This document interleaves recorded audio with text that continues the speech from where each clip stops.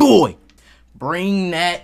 Don't ask why I have a hoodie on. I just turned my air off to make the video. I felt like I was needed. It's like, it's, it's too hot outside for a hoodie, but it's cold in here. That's alright, we're gonna do the video like this. And I need a haircut anyway, so it'll work out. But let's give a round of applause for uh, for Mother of the Year. I'm gonna take this off, I don't like Boy, if you don't I don't know about you, but my mom always told me to have a good day before I went off to school. But this kid's mom's teaching him how to roast the students. Don't get me wrong, my mom is also one of the parents that says if the student hits you, you gotta hit him back. But she's sending him with ammunition. Like he's gonna have so much material that he's gonna be the one that starts off the roost.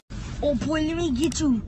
Boy, you look so ugly. You look you look fatter than than Mark Henry. Alright, young bug, I'm gonna have to stop you right there. That was terrible. Maybe this is right. Maybe she is doing the right thing. I don't know. You could say that, but you gotta say, boy, you built like Mark Henry.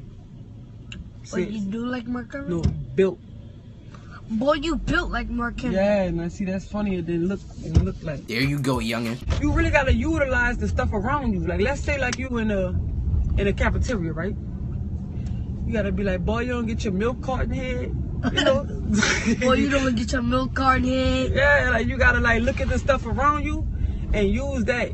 Oh boy, you better get your broccoli looking head. Yeah. but that's Boy, only you better gonna get your funny. bread looking head. Yeah. Boy, you don't get your stop sign head. Yeah. Old mug head looking, old controller looking head, old pen looking young boy, old pack of gum looking head, old blue yeti looking head. No, but I'm joking around. This is some nigga shit. I have one question for this parent. Does he know his multiplication tables? I mean, I don't really care. Y'all ignorance is our entertainment, alright? But hope you guys enjoyed this video. Make sure you comment, like, and subscribe before you make your way up out of here. I'm gonna see my King Gaming Squad next one. I'm out.